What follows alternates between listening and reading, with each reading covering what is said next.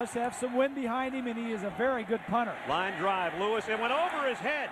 Reggie trying to track it down. Right now, this is about a 75-yard punt. Let's see if he does anything on the return. Smith waited for a crease and got it. 40, midfield. Smith down the sideline. Got a block all the way to the 22-yard line. Whoa! What a punt, but an even better return.